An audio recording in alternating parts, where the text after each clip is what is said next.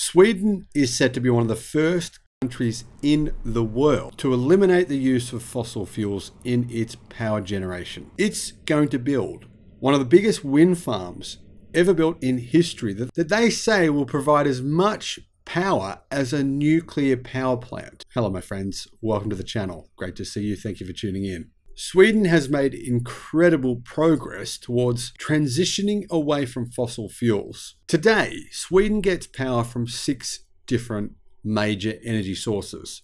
Those include hydropower. Hydropower, in fact, is the largest source of electricity in Sweden. The country has many, many rivers and abundant water resources, which make hydropower a reliable and renewable energy source.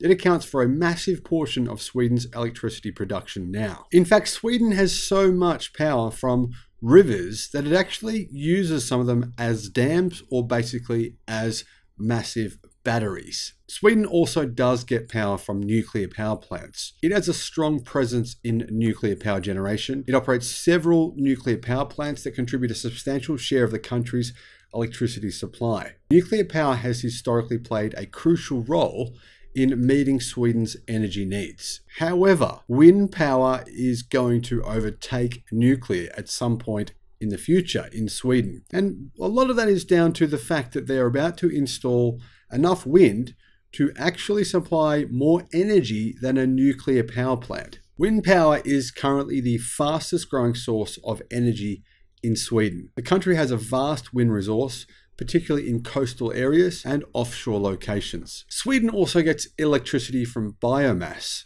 including wood pellets and forestry residues.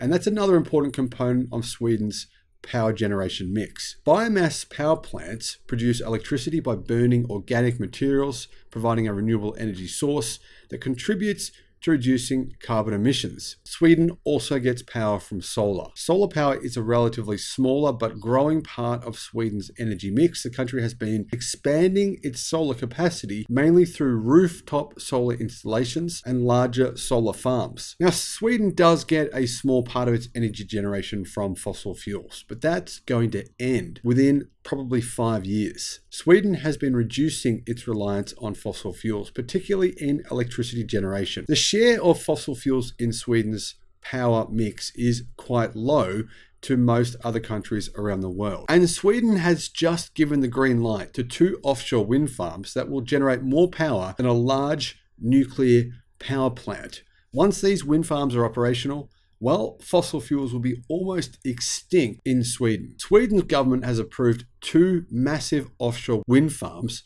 off the country's west coast, totaling some 100 massive turbines, while stressing that it was not abandoning nuclear power. The two farms are expected to contribute 6.5 terawatt hours when completed, which the government said is expected to take seven years. Swedish state owned utility Vattenfall was given a permit for the Kattegatt Syd Park with 80 turbines planned, and renewable energy company OX2 was given a permit for the Galene Park with a further 21 turbines, totaling 101 massive wind turbines. These two wind farms which are both located at sea, are roughly equivalent to one nuclear power plant, said the Prime Minister of Sweden. At the same time, the Prime Minister stressed that nuclear power was part of the government's strategy to expand Sweden's production of fossil free energy. He said that Parliament was about to change its goal of 100% renewable energy to 100% fossil free energy. However, the Scandinavian country have gone back on something they decided on 45. Back in 1980, Sweden's government decided to phase out nuclear power. Now the government is saying, no, no, no, we're changing that rule. We're going to maintain our nuclear power plants and we'll simply start installing more renewable energy than we need, meaning that we'll be able to run 100%